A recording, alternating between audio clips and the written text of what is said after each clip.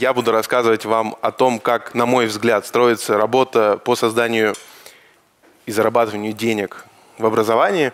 Расскажу о нескольких разных способах это делать, потому что зарабатывать можно очень по-разному. И разные суммы, и разные стратегии существуют. Я работаю в образовании не очень долго, может быть, а, но вот очень стремительно так получилось, потому что я закончил философский факультет МГУ. У меня в дипломе написано «философ. Преподаватель философии». А, на мой взгляд, это просто крест на дальнейшем движении человека где-то в жизни. Но я шучу. На самом деле, мне очень много дало мое образование. И вот если вы посмотрите на мои регалии, то вы увидите, что там очень много контентной работы. Я работал с Парфеновым, был редактором, мы выпускали его книжки. Я открывал большой проект «Детский город профессий» в Екатеринбурге, там он больше 150 миллионов стоил, я его придумал. Все это мне, ну, мое образование помогало мне находить вот эти идеи и придумать что-то оригинальное. И, ну, квесты придумал, как попросил меня тот же инвестор, который делал «Фантазиград». И вот уже третий год мы с партнером работаем над проектом курсов ЕГЭ и ОГЭ «Люди». Мне очень нравится этот проект, потому что мы необычные курсы, у нас э, собственная методика, методика перевернутого класса. Может быть, кто-то из вас слышал об этом. Вот с этого мы начинали. Э, нас было трое. Я, мой партнер и девушка-иллюстратор, которая рисовала иллюстрации в виде медведиков и львят. Вот, нам казалось это очень важным на старте проекта. Когда мы э, завершили год, мы добились очень высокого результата среди наших учеников, потому что средний балл стал 86 у тех, кто у нас учился целый год. Это высокий результат, на мой взгляд. Вот как выглядит к концу этого года. Оборот вырос в три раза. У нас теперь больше 30 человек в команде, очень много административного персонала, много преподавателей. А, мы сняли еще классов. Услуга, вот там 210 услуг, было 73. Услуга – это покупка предмета. Один школьник может купить несколько услуг. То есть и русский язык, и математику, это понятно. То есть в образовании, когда вы что-то продаете, никто не меряет по людям, потому что это нерелевантно. Надо мерить по услугам, которые вы реализуете. Ну, вот у нас 210 услуг, примерно 15 миллионов оборот будет к сентябрю. Ну, мы год считаем не там, с января по январь, а с сентября по сентябрь, потому что у нас учебный год. За последний год 200%, за полтора года 250%. А, вот такой путь мы прошли. Это исследование, которое провела Высшая школа экономики с рядом других игроков. А, анализировали, их предметом было исследование онлайн-образования, но здесь цифры в целом по нише. А, как вы думаете, вид, видно вам циферки? Как вы думаете, много денег или мало? 2 триллиона рублей будет ниша в 2021 году, а там сейчас ну, 1,8 триллионов рублей. Рынок ЕГЭ в Москве оценивается примерно в 30 миллиардов рублей в 2015 году, сейчас, наверное, это миллиардов 50. А если сравнивать наши возможности по выстраиванию бизнеса в этой нише, с возможностями людей, которые работают, например, в стройке а, или, например, в косметике, то эти ниши будут в 5, в 7, 8, 9 раз больше. То есть, когда вы приходите в нишу образования, и не все, кстати, это понимают, а, вы никогда не будете получать сверхдоходы. То есть, к сожалению или к счастью, не знаю, в образовании вы не купите себе личный самолет. Никогда. То есть, какой бы большую систему вы не выстроили, только если вы не, не скажу кто. Ну вот это не хорошо, не плохо, это факт. А, почему я об этом говорю? Потому что ну, тема была заявлена как бизнес в образовании. На мой взгляд, самое главное решение, которое должен принять человек, делая бизнес, в первую очередь, это решение о том, где он делает бизнес. Но вообще я считаю, что люди, которые выбирают сферу образования, они не вполне бизнесмены. Даже если у них э, есть амбиции, они хотят зарабатывать много денег, вот миллион рублей в месяц – это немного – 10 миллионов рублей в месяц – это нормально, но немного для бизнеса. То есть мы разбираем разные ниши, мы смотрим, сколько зарабатывают люди в других нишах. Это смешные деньги для этих людей. Условно, мой тесть в Буденовске, э, это город в Ставропольском крае, может кто-то знает, его штурмовали боевики в 90-е годы, продает бытовую химию в Буденовске. 90 тысяч населения, маленький город. Он продает бытовую химию, э, строительные материалы – крышки для банок. Вот. На, только на крышках за лето он зарабатывает 3-5 миллионов рублей, продавая крышки для банок. В Буденовске, где население там 80 тысяч человек, плюс агломерация еще 1150. Это чтобы вы понимали, что есть разные ниши. И часто люди, которые приходят в образование за деньгами только, они разочаровываются, потому что они мечтали, что там через два года у них будет Феррари, а Феррари не случилось. Не, не потому, что они плохо работали, а потому что ниша такая. Образование – это очень сложная ниша, потому что здесь очень много доверия. А, здесь, как нигде, работает сарафан, особенно в такой стране, как Россия. Очень азиатская страна в этом плане. То есть у нас есть возражения, конечно, мы пытаемся перенимать бизнес-опыт Америки, где продажи выставлены просто на уровень недосягаемый, на мой взгляд. Но эти возражения очень сильно разбиваются о традицию мышления людей, потому что мои курсы очень крутые. Я влюблен в свой продукт. Э, самый крупный конкурент на рынке курсы «Максимум», у которых ну, там 10 миллионов долларов инвестиций и 20 тысяч учеников, называли мой продукт лучшим на рынке. Это многого стоит.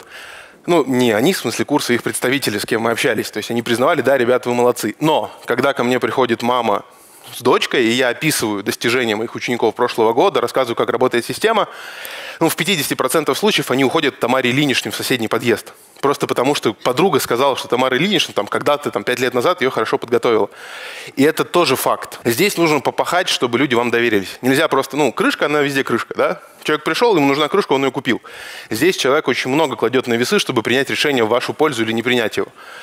Это важно учитывать. Поэтому вот эта ниша, конечно, большая. Здесь много денег. Но по сравнению с другими нишами не так много. Если вы только думаете о бизнесе и хотите зарабатывать прям очень-очень-очень много и быстро, в образование не надо идти.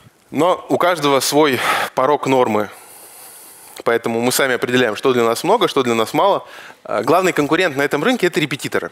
Я недаром спросил, кто из вас репетиторы, примерно там, 25% в этой аудитории только подняли руки. Число репетиторов в России посчитать очень сложно. На портале Профи.ру зарегистрировано несколько сотен тысяч репетиторов. А, мои конкуренты где-то публиковали статью о том, что на 60 тысяч школьников в 2015 году, сдающих математику, было 12 тысяч репетиторов по математике. Мы, а, максимум огромные курсы, они прям очень-очень большие. Другие конкуренты конкурируем не друг с другом. То есть нас 30 штук в Москве, ну, более-менее крупных, и у нас главный конкурент – это репетиторы. Вот. Но тут кроется, и какую бы в нишу ни пошли, вот это ЕГЭ, я очень хорошо разбираюсь в нише ЕГЭ, посмотрите на цифры. Более 50% выпускников в Москве пользуются услугами репетитора. А в реальности при подготовке к ЕГЭ, там, я думаю, до 80 точно дойдет. Но при этом 55 баллов – это средний балл по всем предметам в 2016 году.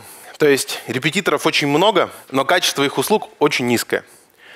Репетиторов, которые реально могут конкурентно готовить к очень высоким баллам, я не знаю, их процента 2, может быть один. Все остальное это очень несерьезные люди, которые во многом работают репетиторами, просто почему бы нет. Как человек, который нанимает людей в свой бизнес, к нам приходят очень разные люди, у нас там уже человек 300, наверное, пришло, ну, через нас мы общались с разными людьми, но приходит репетитор, и он работает, и у него высокий чек. Но когда ты спрашиваешь его про вторую часть ЕГЭ, которая очень серьезная и важная для сдачи экзамена, оказывается, что половина из них просто ничего не знает о ней. При этом они не стесняются брать 3000 рублей за занятие, 4000 рублей за занятие. При том, что они, правда, некомпетентны. Да, конкуренции много, да, э, репетиторов много, да, вы, выходя на рынок образования, если вы решили готовить школьников к чему бы то ни было, будь то ЕГЭ, ОГЭ или э, любые другие дисциплины из области дополнительного образования, она очень большая, вы столкнетесь с морем репетиторов. Но есть хорошая новость в том, что реальной конкуренции на этом рынке нет. А, и, конечно, репетиторы друг у друга и курсы друг у друга отжимают рынок. Но мой любимый кейс – это образовательная выставка «Образование и карьера» в гостином дворе, где мы в этом году выступали. И к нам подходит мужчина в пиджаке. Он такой, ну, уже в солидном возрасте, ему лет, наверное, под 55 а, очень так консервативно выглядящий, знаете, вот такой похож на партийного дядечку. Вот. И он очень приятный мужчина, деликатный, мы с ним разговариваем. И он говорит, вот мы существуем на рынке ЕГЭ 8 лет. Вот сколько ЕГЭ было, столько вот они есть. Я говорю, а сколько у вас учеников? Ну, мы же на выставке, все равно какая разница? Вот вы мне скажете эту цифру, мы не сможем ее никак использовать. Он говорит, 150. Я смотрю на своего партнера, говорю, а у нас 160 при том, что мы существуем два года, а они 8 лет.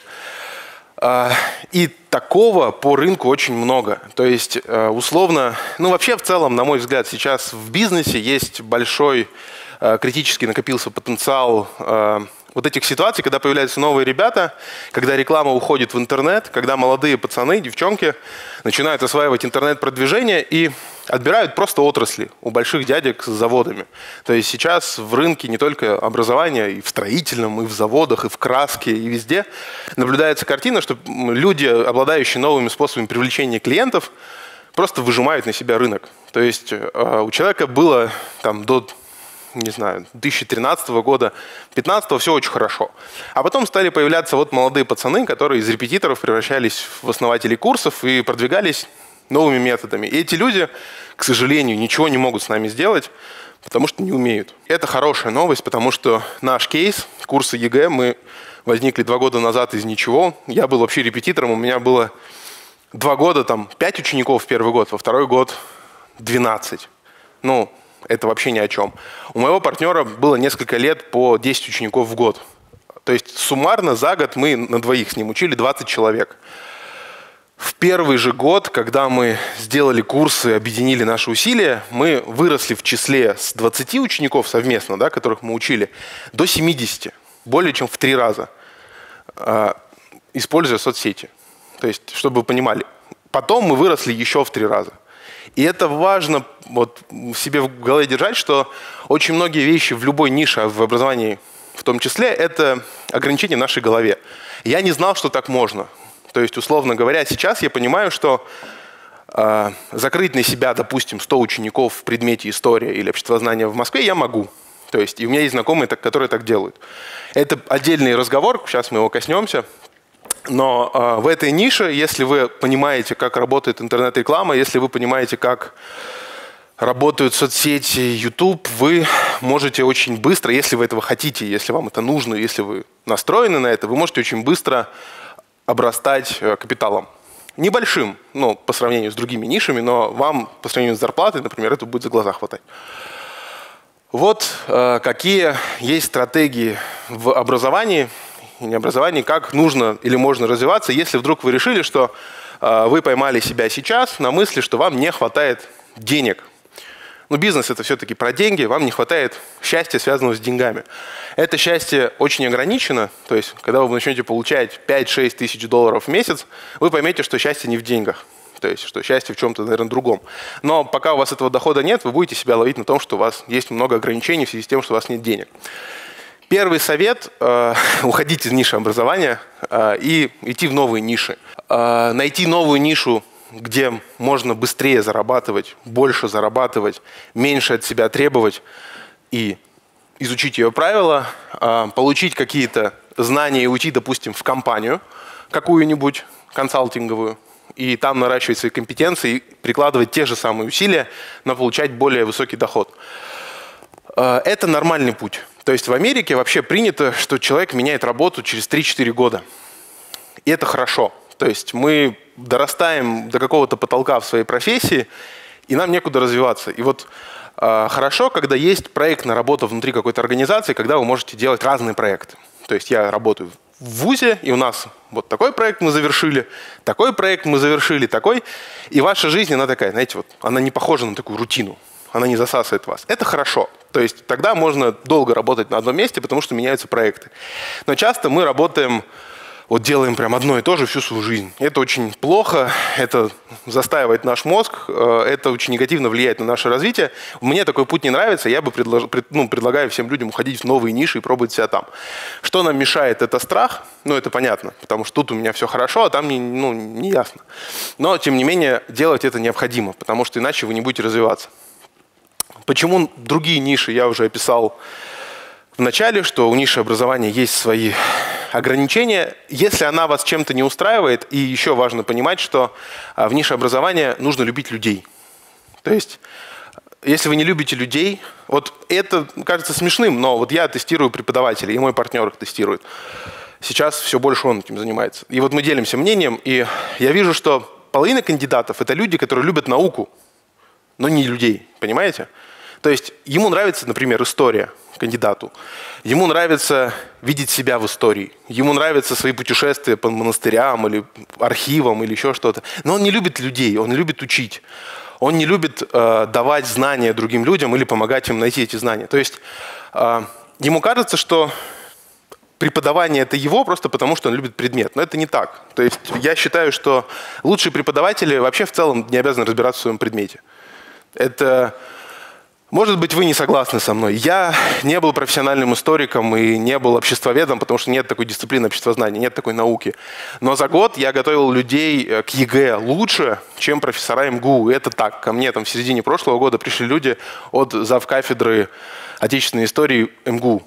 То есть они у него занимались по очень высоким чекам и ничего не получили. Пришли к нам и занимались со мной, не профессиональным историком, у меня философское образование, и сдали там 30%, получило больше 92 баллов. Это круто. И у меня вообще не было претензий, что я знаю историю лучше их. Наоборот, как раз моя задача была их научить знать историю. Вот это была моя цель, мой интерес.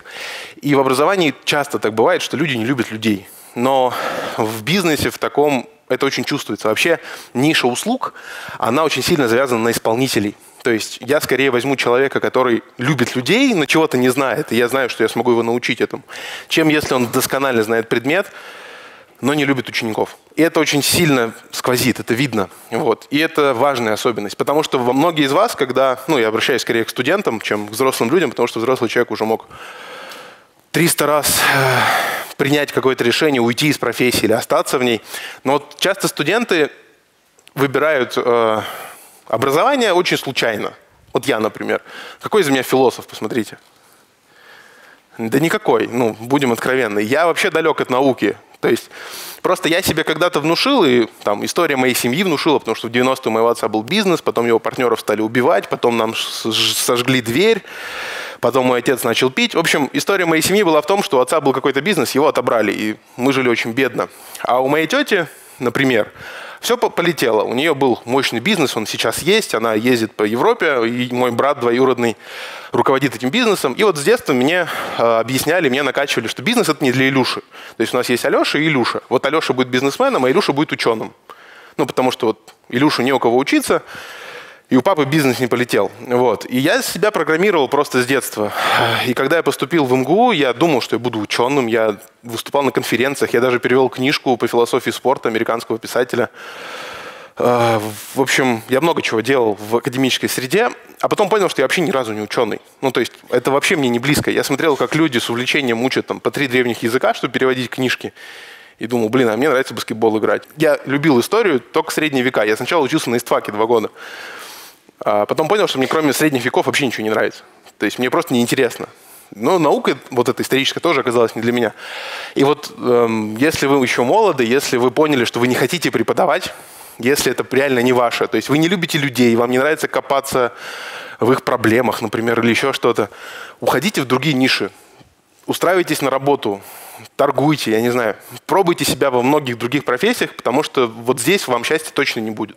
Потому что здесь будут десятки людей, которые любят это делать, в отличие от вас. И это так во всех профессиях. Там можно запихнуть ребенка в любой там, университет, на любой факультет, но если он хочет, черт возьми, быть актером, а не юристом, ну не станет он крутым юристом. Это вот я в этом убежден. Вот, поэтому уйти в другую профессию – это нормально, это хорошо, в этом нет ничего плохого. Работать в организации. А, ну, я написал здесь курсы школы университет, конечно, это все относится и к другой нише, если вы решили уйти из образования, не обязательно уходить в свой бизнес, даже если вы его никогда не делали. То есть это такое решение отчаянно. Вы можете просто уйти в другую компанию.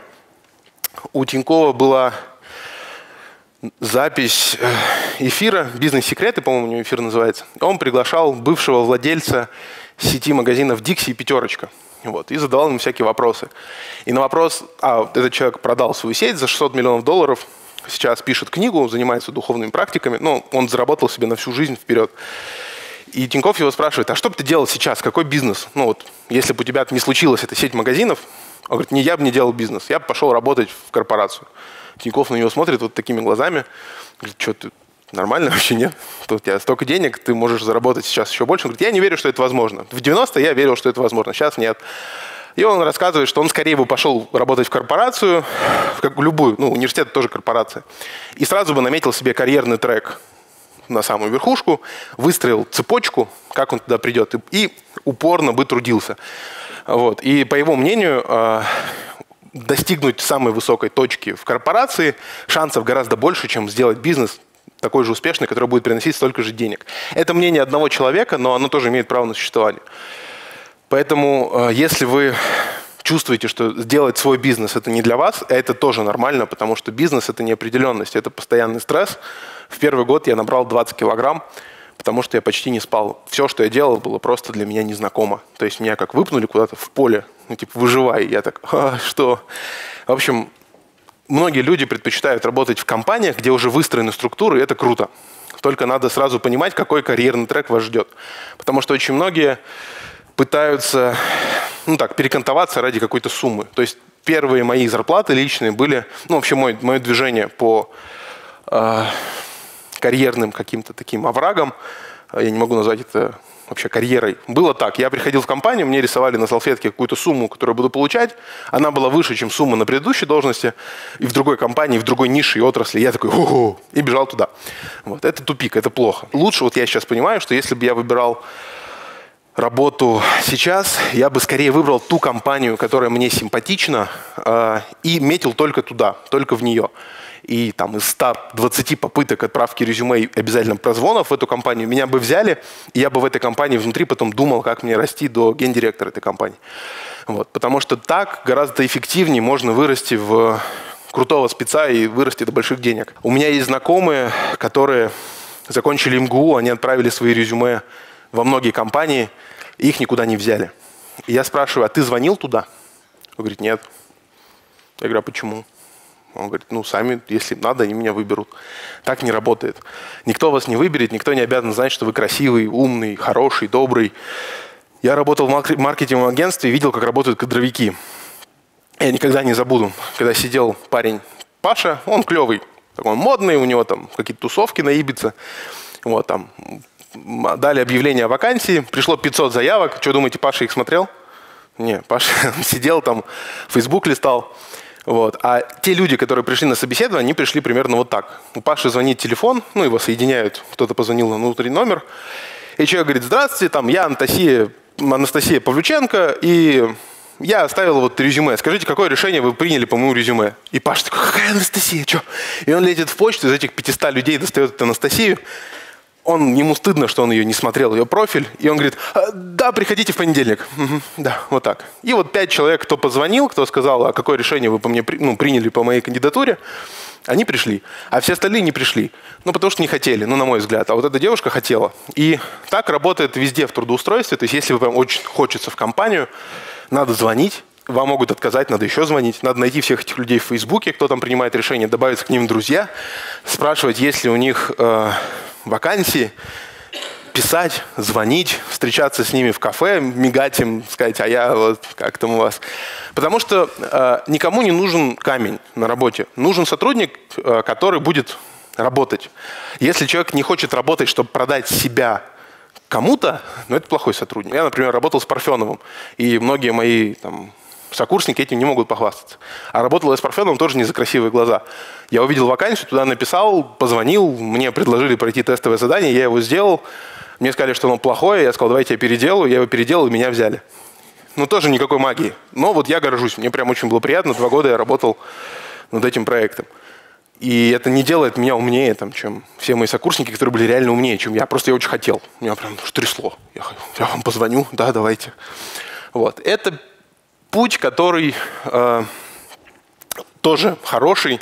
В преподавании э, и в бизнесе он в целом вообще во многом неплох, потому что э, в университете и в школе, например, вообще гарантированный поток детей. Там есть вилка по оплате, конечно, и на курсах тоже, потому что ну, вам зато дают этих детей, людей, вам не нужно их набирать, не нужно изучать что-то еще, вы просто занимаетесь своей профессией. Вот. Если вас это устраивает, то это круто. Ну, в этом нет ничего вообще плохого. А, работать на себя. А, в этот пункт я раскрою пошире, потому что в репетиторстве мы вообще торгуем лицом, на мой взгляд. А, и чтобы выделяться, здесь нужно уметь себя брендировать, нужно выстраивать вокруг себя отношения, которые бы вызывали, ну, воспри... заставляли бы вас выглядеть в лице других людей экспертом. Потому что образование... Э, у меня один знакомый, он, Леонид Смехов его зовут, он в Ранхиксе читает курс лекций, и у него свое агентство по э, навыкам публичных выступлений. Вот как-то, я не помню, как точно оно называется. И вот он рассказывал однажды, как его пригласили прочитать открытую лекцию, и девушка, которая его представляла, она сказала, и сейчас выступит молодой специалист Леонид Смехов. И это было большой проблемой для Леонида, потому что, ну, может, он ему немного лет, но он очень давно работает в этой сфере, он профессионал.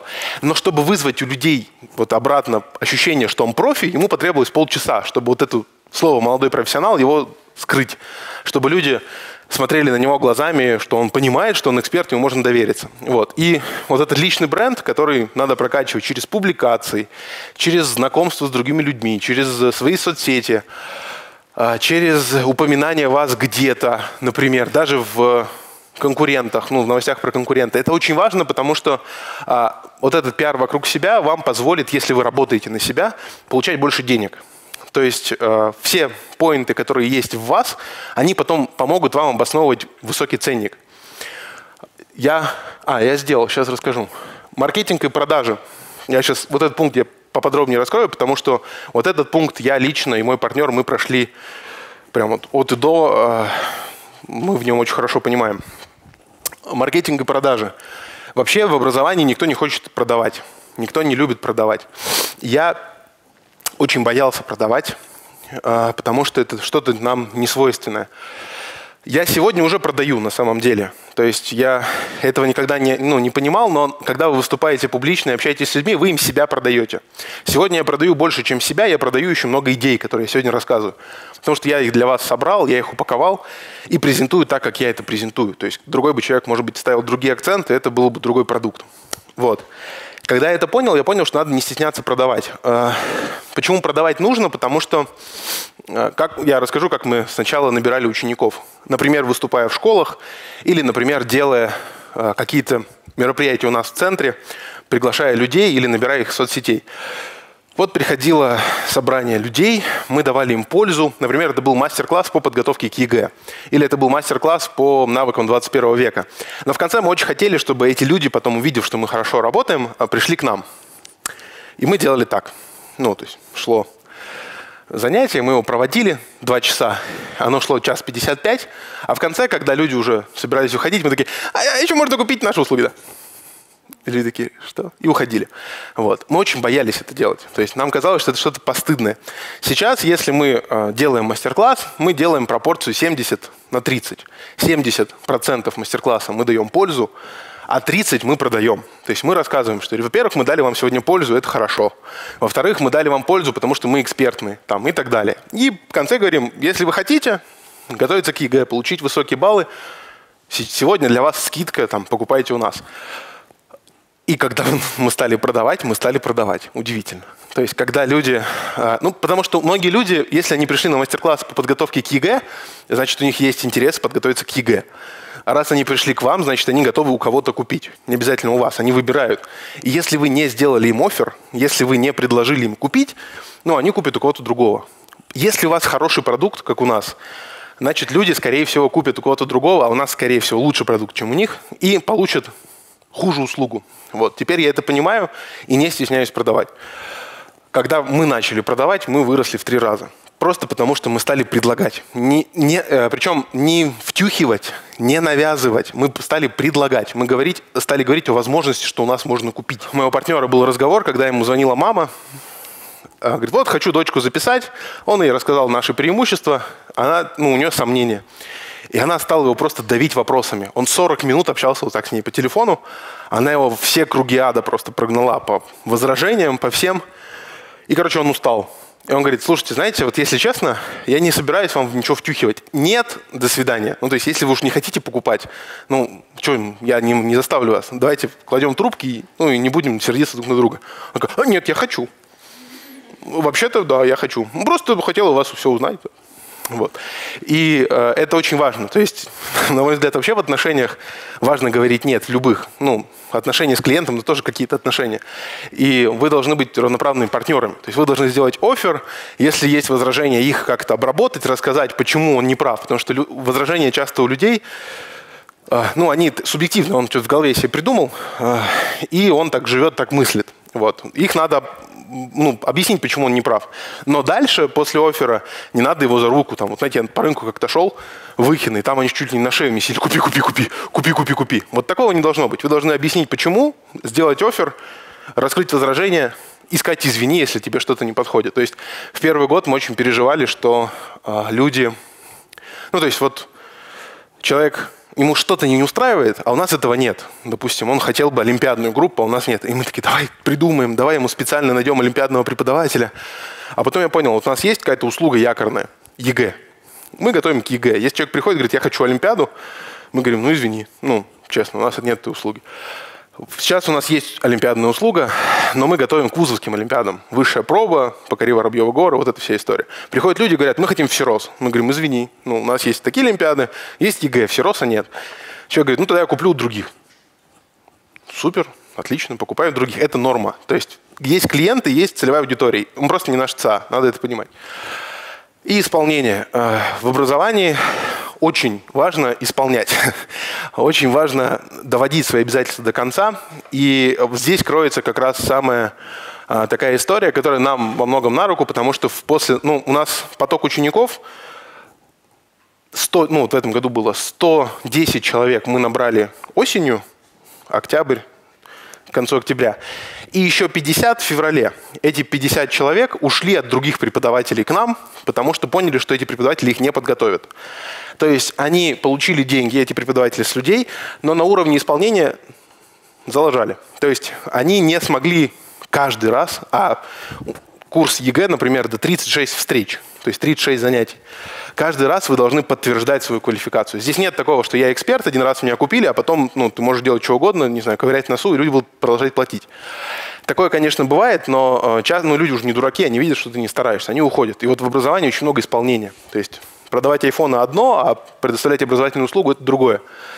Есть такая фраза, что можно всю жизнь клево строить мосты, но если вы один раз сделали что-то не так, все запомнят вас не потому, что вы всю жизнь строили мосты. Очень круто. Как это работает? Э, вот я решил стать индивидуальным репетитором. Я еще не думал о том, что мне нужны курсы свои. Я хотел просто денег. Вот я. Тут много текста, это мои регалии. На сайте профи.ру ваш репетитор. Это моя анкета. А, она до сих пор там висит, потому что... Не знаю почему, кстати. Чтобы я мог показывать эти слайды. Первый год, когда ушел из агентства, очень много работал над этой анкетой. Я соглашался на любые заказы. Ездил куда угодно. То есть у меня было и и Бутово, и не Бутово. В общем, очень много у меня было заказов, я их брал и их исполнял. И делал это максимально хорошо. Начиная от моей улыбки, заходя к ученику, заканчивая психологической поддержкой его. То есть это была очень комплексная услуга. Люди были просто в диком восторге. То есть даже если человек плохо сдавал ЕГЭ, а такое было, потому что я еще очень плохо понимал, как готовить к ЕГЭ, он все равно был в восторге. И это занимало очень много моих сил. А сейчас в этой анкете я не пользуюсь по факту услугами этого сайта. Если вы видите, сейчас двухчасовое занятие стоит 10 тысяч рублей. Вот здесь. Я поставил этот ценник в ноябре, когда понял, что не хочу преподавать, когда понял, что мне нужно развивать мою систему моих курсов. И я понял, что ну вдруг, не знаю, курсы отменят. Такое же может быть. Я поставил 10 тысяч рублей за занятие, чтобы не давали учеников. Чтобы, ну, чтобы администраторы не нервничали, что там не скидывают мне заказы, а я их не беру. Я поставил десятку за занятие. Ну и что вы думаете? Заказов стало меньше, но они есть. И люди хотят, и люди занимаются. Это в тему о том, что в индивидуальном преподавании... И у меня есть, кстати, один ученик. Встречаемся три раза в неделю вот по этому человеку. А, он сейчас уже сдаст ЕГЭ по истории. Я его... Причем это было очень смешно, потому что я не хотел его брать. Он позвонил, я ему честно сказал, что я директор курсов, мне плевать. Папа говорит, ну нас в армию заберут просто. Я говорю, я говорю, ну приезжайте на диагностику. И я думаю, он сейчас приедет на диагностику, у него там будет 50%, я отправлю его домой, скажу, ну, типа, ЕГЭ ты сдашь, не трать деньги. Вот. А он приехал, у него 3%. Ну, то есть он хотел поступить на платное отделение, а сейчас у него задача не уйти в армию. Вот. Ну, в общем, и он платит, ему норм. Я к тому, что мы сами часто ограничиваем этот потолок денег в своей голове. Мы сами часто трясемся над тем, что... Э, вот у меня было, я, у меня ценник был 1000 рублей в час. Ну, это средний ценник, я был в нем уверен. Потом я подумал, могу ли я поставить полторы тысячи рублей. И я принимал это решение полгода меня трясло. Когда я решил изменить на сайте эти настройки, у меня вот так рука дрожала. Я думал, что это я подписываю себе приговор на бедность, что люди откажутся от меня, что, не знаю, все засмеют меня, что тут же придет человек и плюнет мне в лицо. Что-то такое случится. Но нет, просто есть рынок, есть разные категории клиентов. Э, и эта цифра, она только в вашей голове. Я думал, ну, десятка за занятие, это тоже был ну, потолок в моей голове. То есть, но люди все равно покупают. Да, это, ну, возможно, скорее только потому, что есть боль. То есть человек прям реально может совсем не сдать, и у его семьи есть деньги, и они готовы. Но знаете, как был диалог с отцом этого парня? Он просто залез на сайт и говорит, а почему у вас в три раза дороже, чем у всех на сайте? Вот. Просто так. Вот и все. А он уже мне позвонил, он уже мне доверился. И он уже у меня купил. Ну, то есть я ему даже ничего не обещал. Я вообще ничего не... Я был абсолютно честен. Это тоже важно. То есть я ничего не обещал, я ему не втюхил. Я говорю, я не хочу вас брать. Я не хочу работать. Э, я могу провести вам диагностику, раз уж вы позвонили, бесплатно, абсолютно. Вы придете, но если у вас будет все ок, я вас не буду брать. Вот. И да, я понял, что вот таких, как он, клиентов-то немного. Ну, то есть, э, есть рынок, есть его законы. То есть нельзя поставить себе 100 тысяч рублей за занятие и ждать, что будут ученики в этой нише. А в другой можно. Например, коучу своему бизнес-тренеру я, я заплатил 150 тысяч рублей. Ну, то есть за 4 встречи. Ну, другая просто ниша, да, ну, в смысле, другие законы, другие чеки. Но вот здесь нельзя. Но я понял, что, например, продавать себя по 6 тысяч рублей за занятие можно. Если вы э, экспертный, если у вас много учеников, э, это круто. Ну, вполне себе. У меня есть много знакомых, которые работают именно так и получают очень хорошо. Причем, когда они об этом рассказывали, я думал, что это просто фантастика, это просто невероятно что-то. Вот. Ну, то есть, есть коридор, вот, видимо, в ЕГЭ коридор за занятие от тысячи до десяти. Десять, если у вас очень крутой бэкграунд, Тысяча, если у вас вообще нет опыта, две тысячи, если вы просто преподаватель, три, если вы хороший преподаватель, ну и дальше уж как у вас наглости хватит с людей брать. Понятно, что на каждый из этих ценников своя целевая аудитория. То есть вряд ли вы наберете по 6 тысяч рублей очень много людей вот отсюда, из этого канала. Нет, потому что репетиторов много. Но это не значит, что вы не наберете их из других каналов. И это мое было открытие, когда я понял, ну, ваш репетитор давал мне 10 учеников в год ну, иногда 15. И у меня был вопрос, а как мне вырасти-то? Я вот решил быть репетитором, я клево делаю, я классный вообще. Что мне делать дальше-то? Они не дают мне больше, даже у меня деньги на счету есть. Оп, оказывается, что есть интернет-маркетинг. Окажется, что можно сделать лендинг. Окажется, что можно вести аудиторию, заинтересованную в соцсетях, приводить их на лендинг и там им продавать. Я, давайте потестим. Сделали лендинг. Интенсив «История России в 20 веке». Это скрин рекламной кампании. То есть мы делали рекламные посты ВКонтакте только. Мы нашли аудиторию, мы ее собрали, сделали рекламные посты, 15 штук, ну там 5 не зашло, 10 штук их было. Вот это был очень простой пост. Там, сдаешь ЕГЭ, типа уверен, что знаешь хорошо историю, нет, переходи на сайт. Вот. История России, ну, все очень просто, как вы видите, это вообще ничего сложного там не было. А, вот так выглядела кампания. Чек был 20 тысяч рублей, ну там 25, но со скидкой 20. А, в итоге было 11 продаж. То есть 200 тысяч рублей я заработал на этой компании, потратив, короче, 1300. То есть 1300 я потратил на рекламу. Ну, конечно, знаете, как у Пикассо как-то женщина к нему подошла и говорит, нарисуйте мне рисунок. Он нарисовал какую-то мазню. Он говорит, с вас 10 тысяч баксов. Она такая, за что? За этот рисунок? Он говорит, чтобы его нарисовать, я там 10 лет работал. Вот так и здесь. Мы, конечно, долго тренировались, чтобы научиться делать офер и вести аудиторию, но вот в этой компании мы потратили 1300 рублей, получив 200 тысяч. Ну, 200 плюс, это я не на себя еще закрывал, то есть я закрывал на систему, на курсы. То есть э, это тоже очень важная вещь, что если вы сам эксперт, если вы сами хотите себя продвигать, это гораздо проще делать. То есть я могу закрыть на себя, вот там, не знаю, чек, наверное, 50 на этот чек. Это очень несложно. Потому что я яркий, потому что я в себе уверен, потому что люди меня знают, потому что я могу продать, потому что я такой прикольный. Э, с этим мы столкнулись в начале этого года, когда решили, что сами не хотим преподавать, с тем, что люди э, приходят на меня – или на моего партнера. То есть мы оба клево преподаем. А мы говорим, знаете, мы уже не преподаем, у нас есть преподаватели, которые работают по нашей системе. Люди такие, а, ну извините, и уходят.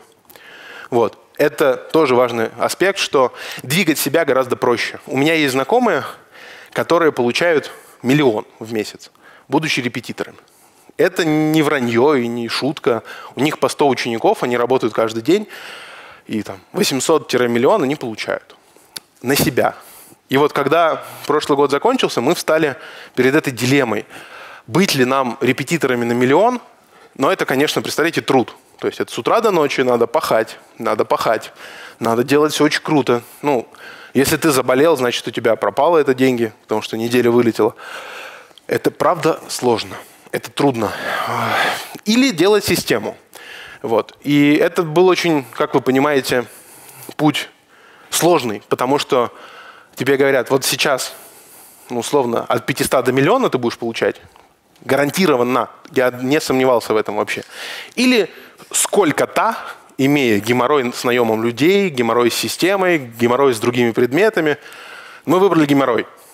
Мы очень хотели создавать систему, потому что у меня, у меня родилась маленькая дочка. В первый год, когда я работал, я ее не видел вообще. То есть я приходил поздно вечером, она уже спала, я уходил рано утром, она еще спала. А, я жену не видел. Если честно, наш брак чуть не распался, потому что у меня была очень болезненная и неправильная, кстати, мысль, на мой взгляд. Э, я приходил с работы, но я очень много пахал, потому что мы строили систему, нарабатывали экспертность, а жена, ну, ей хотелось внимания. И она мне говорила, ну, там, обижалась, да, хотела внимания, притягивала его ко мне, а я был не готов. И я на нее орал, говорил, а что я эти деньги приношу, что тебе еще от меня надо? Я зарабатываю, я мужик, м-м, у меня денег, я заработал. И я понял, что это вообще плохой путь, потому что, ну, ты же там замужем или женат не на мешке денег, ты на человеке женат. И если ты, ну, нельзя откупиться от родных, от близких, от друзей. Вот. Если вы, у вас нет семьи, если вы молоды или если вы давно испортили отношения другими поводами со своей родней, этот путь для вас. Ну, то есть вы можете уйти в него. Ну, и миллион это, ну, наверное, миллион это потолок. То есть тут скорее больше не получишь, но может вам и не нужен миллион. Может ваш порог 200 тысяч рублей, 300 тысяч рублей. Это можно делать относительно, ну, не насилуя свою семью. Но это такой путь, это ограничение, которое нужно было понимать. И я его очень хорошо учитывал, потому что когда моя дочка на меня смотрела и не понимала, что за дядька пришел, мне это было очень больно. Поэтому мы... А, ну и да, еще случился у нас, и у меня, и у партнера такая история в этом процессе зарабатывания денег в прошлом году, когда э, организм начал просто давать сбои, и э, мы, ну, у меня там я с температурой вел занятия иногда, у моего там, партнера опухоль случилась на лице. Ну, организм просто уже не справлялся с этой нагрузкой. Вот. И это тоже э, важная мысль о том, что наше тело как ресурс, оно недолговечно. То есть вот люди, которые так работают и поднимают такие деньги в месяц, они недолго работают все-таки. То есть через пять лет они говорят, я уже не могу, все. Вот, все, у меня кончился ресурс, я не могу смотреть на людей, на учеников, мне не нужны уже никакие деньги. То есть они, конечно, купили квартиру, может быть, еще что-то, но они уже не готовы. Это тоже надо учитывать, что есть баланс вашего тела, вашего времени. А, и он очень ощущ... ну, ощутимый, то есть предел ну, настигает очень быстро. У меня в прошлом году был день, пятница, когда я работал с 8 утра, с 7.50 до 21.50. Ко мне приходило 6-7 групп учеников. Групп. То есть у меня с утра было два ученика личных, а потом приходили группы по 3-5 человек. Если честно, когда уходил, ну, в середине дня я понимал, что я уже готовый, все. То есть у меня уже нет сил, но это было очень важно, когда приходит новая группа, делать так. Привет, ребят, да, да, заходите. Потому что никому не интересно смотреть на тебя, что ты уставший, что у тебя кислое лицо, потому что ты оказываешь услугу. А этому меня научил один очень крутой дядька, он был одним из основателей тройки диалога. Он нам, у нас с ним такая условная есть программа. А, он раз в год оплачивает обучение одному ученику из неимущих слоев обучения, ну, неимущих слоев населения, кто не может себе позволить курсы, но они хорошие ребята. Вот. Мы часто делаем бесплатные занятия для двух-трех-пяти учеников. А, вот. И как-то раз он, я должен был с ним встретиться, чтобы взять у него денег. А, и он встречает, он мне улыбается, привет, Илья, как дела? А потом, не снимая улыбки с лица, говорит, знаешь, извини, я не могу тебе сейчас уделить внимание, у меня друг на самолете разбился, мне нужно ну, помочь его семье, поэтому прости, пожалуйста, ну и до свидания. То есть я взял деньги, отошел, и у меня просто был такой немножко шок, потому что я понял, насколько профессионально он погрузил меня в свою проблему, объяснив, почему он не может мне сейчас уделить внимание, но при этом не погрузил меня в нее в смысле, что там это не нужная мне головная боль. Это не то вообще, с чем я как-то связан. И вот очень часто, на мой взгляд, преподаватели грешат именно тем, что их услуга, ну, на мой взгляд, некачественна, потому что они смешивают тут от себя личного с преподаванием.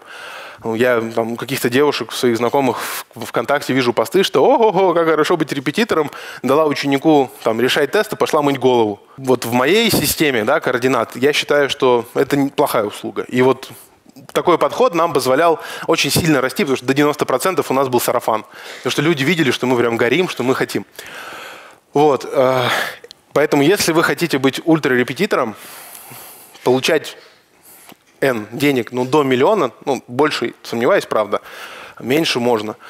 А, там 500, 300, ну, 300 тысяч – это вообще изи. То есть я считал, что сейчас на себя я могу закрывать один день работы в неделю, 260 тысяч рублей, я считал, могу получать. Я могу закрыть на себя три группы по 8-10 человек с чеком там 2-3 тысячи рублей и получать 200-300 тысяч за один день работы. Рынок большой, я яркий дядька, у меня большой бэкграунд и есть много отзывов. То есть на меня и так люди уже приходят. Вот. Но есть ограничения, о которых вы должны помнить. Э, это может закончиться. Ваши компи... Если отменят вдруг ЕГЭ, ваши компетенции никому уже не помогут, они будут никому не нужны. Вы можете закончиться сами, и это тоже ну, очень быстро наступает. То есть это нужно держать в голове. И, конечно, э, эта сумма, она не придет сразу. То есть я пахал два года, очень круто пахал. То есть я пахал так, как никто вообще из моих знакомых, чтобы этот уровень был. Постоянно работаем над тем, чтобы продвигать наш бизнес. Нам нужно искать преподавателей, нам нужно общаться с ними, нам нужно делать продукт. Например, в последние три месяца вот дивиденды и риски, да, то есть вы тут же начинаете нести риски все а, на себе, потому что маржа падает. То есть когда вы работаете один, и вот вы репетитор, и все – у вас маржинальность продукта, она колоссальная, 95%, не считая материалов или там, не знаю, денежек на обед. Когда вы работаете вот так, маржа просто снижается. Я очень смеялся. Кто не знает, что такое Landsman School? Кто-то слышал? Отлично. Это наши конкуренты, ну, большие, они крупнее, чем мы в пять раз. Они объединились с другими курсами, которые тоже были крупнее, чем мы, и дали интервью в секрет фирмы. А потом я ржал. Правда, я хохотал. И при том, что они клевые парни, у них хороший продукт, но у них маржа 20%. 20. То есть из 30 заработанных миллионов они получат пятую часть. Понимаете? В год. Посчитали? В год. То есть это 500 тысяч рублей в месяц примерно на одного, а их двое. То есть их, если у них 70 миллионов будет, то они будут получать ну, по миллиону. Но вы представьте, какую систему надо тянуть. Это 150 преподавателей, это куча арендных классов, это куча материалов, это куча гемора, которые они делают ради этой суммы. Вы можете закрывать это все на себя, можете делать курсы. Понимаете? Вы можете, будучи репетитором, получать гораздо больше, но работая. Честно, я был очень удивлен, потому что у нас маржа 40, и меня это бесило, короче, меня это вымораживало. И во многом маржа 40 у нас была за счет того, что мы почти миллион потратили за 4 месяца на создание новых, э, ну, у нас перевернутый класс, у нас нет лекций, поэтому мы все материалы пишем, а потом высылаем детям. То есть на создание всех материалов по всем предметам мы потратили почти миллион. Ну, я мог бы их себе забрать просто и поехать в Америку. Но мы засунули обратно в бизнес. Это тоже надо учитывать, что бизнес это не очень просто. Часто преподаватели думают так – он созвал, ну, типа, 8 человек в группе, мне платят там 2000 или там полторы, 8 человек платят по 2, значит, эти козлы на мне заработали 16, мне заплатили, значит, 2. Вот такой подсчет идет. Но на самом деле э, это не так. На самом деле каждый клиент стоит денег, потому что его надо привлекать. На самом деле э, в... нужно платить аренду. На самом деле нужно создавать э, материалы или их контролировать, потому что если у вас большая система, вот как у моих конкурентов сейчас, им придется создавать отделы контроля качества, чтобы в каждом пункте ваших курсов у вас был примерно один и тот же продукт. А, то есть, чтобы качество не скакало, что есть типа филиал, где все хорошо, и филиал, где все плохо. Люди узнают об этом, они либо будут ездить туда, либо идут к конкурентам. То есть, это большая-большая работа. И здесь вам придется изучать очень многое, а, чтобы это все работало, чтобы это работало хорошо, приносило вам счастье и деньги.